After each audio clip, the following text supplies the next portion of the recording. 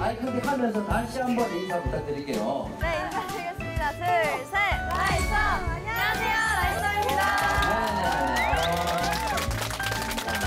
어떻습니까? 이런 분위기. 저희가 과연 누가 오실까 진짜 얘기를 많이 했었어요. 그래서 막 회사분들이 오시나? 회장님이 오시나? 막 얘기하고 긴장을 하고 있었는데 네네. 제가 안대를 보자마자 너무 익숙한 얼굴이 나타나서 네. 정말 너무 신기했어요.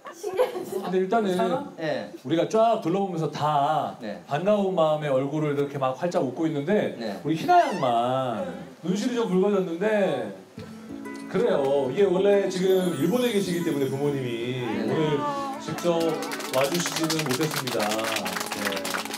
아유 참 하지만 또 건강하게 활동하는 모습 저희가 또 보여드리면 그걸로 또 부모님이 또 더 만족하실 것 같고 네. 너무 울지 마세요. 어디 내가 울렸죠? 바람이 밀리고 그래요. 일단 사과 말씀드리겠습니다. 네. 자, 아무튼 뭐 우리 라인썸 분들의 정말 소중한 가족분들이 앞에 있습니다. 가족분들 앞에서 무대를 선보이는 거는 아 정말 더 떨릴 것 같아요. 예, 자, 그래서 오늘 라인썸의 첫 무대 지금부터 공개하겠습니다.